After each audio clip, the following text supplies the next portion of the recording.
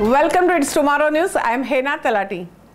Northern China to encounter its 10th dusty weather this year. Sand and dust are expected to blanket a vast area in the northern parts of the China this coming weekend. The 10th dusty weather period this year with some places expected to suffer from strong sandstorm against which experts suggested international cooperation in dusty weather control. China's Central Meteorological Observatory continued to issue a blue warning for the sandstorm on Wednesday morning, with a vast area across China from northwest China, Xinjiang, the capital of Beijing, in the northeast China's Jilin province, expected to suffer from the sandy and dusty weather due to the influence of the cold fronts. Some areas such as Tarim Basin in the Xinjiang, western parts of the northern China, inner Mongolia autonomous region and a Hexi corridor in the northwest China's Gansu province are even expected to be hit by the strong sandstorm.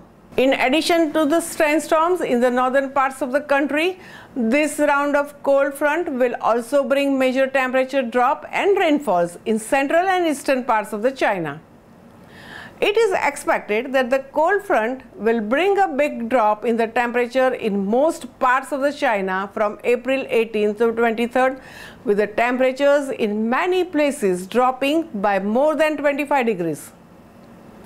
This will constitute the 10th round of the dusty weather to hit China since the beginning of this year, the most over the parts of the decade during the same period with the vast areas of the country being affected.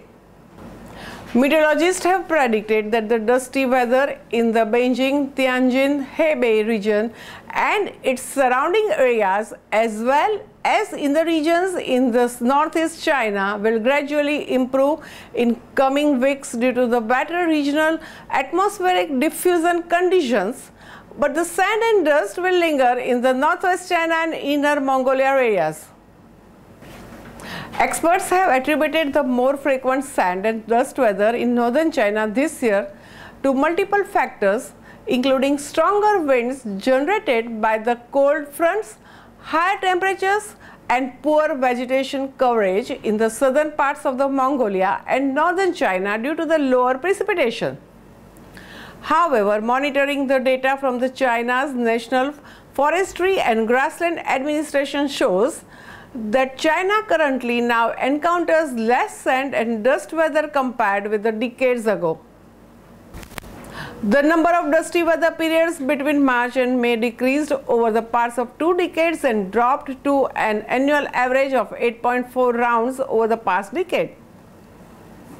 That's all for now. For more news updates, stay tuned with us. It's tomorrow news. For more global weather updates like this, subscribe our channel and hit the bell icon for regular updates.